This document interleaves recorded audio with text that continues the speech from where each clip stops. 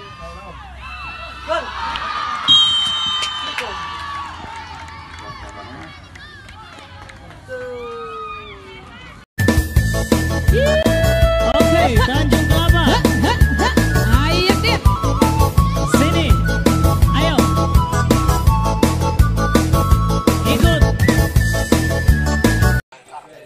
tekanan dari berbagai pihak tersebut kembali tim SSB Nafas Rangka kembali kembali